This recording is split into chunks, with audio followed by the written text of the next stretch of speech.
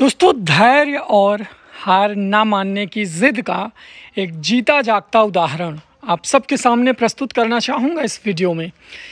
आपको यकीन नहीं होगा, सत्तावन साल की उम्र में टीजीटी का इंटरव्यू देने पहुँचे दीनानाथ। जी हाँ दोस्तों, प्रयागराज की ये घटना है।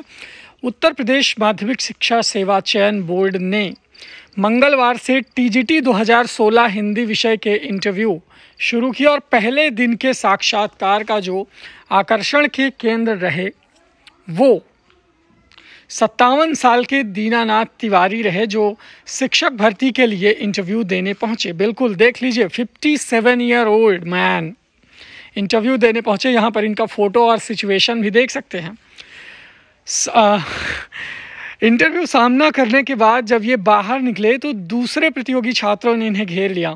सब इनसे जानना चाहते थे कि साक्षात्कार में किस प्रकार के प्रश्न पूछे गए थे।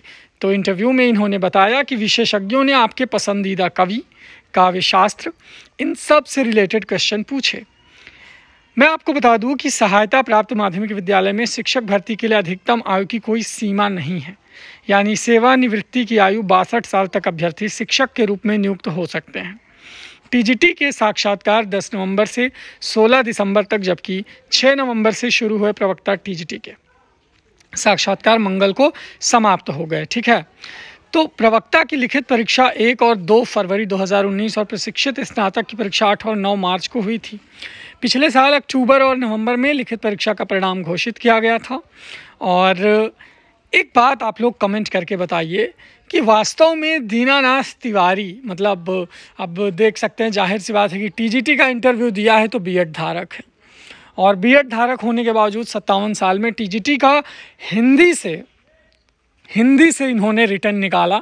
मतलब हिंदी की जो जनरल की मेरिट थी वो, मैं आपको बता दूँ कि 125 प्रश्न में तीन क्वेश्चन आयोग ने डिलीट किए थे टोटल तो 122 प्रश्न में आई थिंक 118 नंबर तक जनरल बुलाया गया था और 116 वाला नंबर ओबीसी को बुलाया गया था. ठीक है?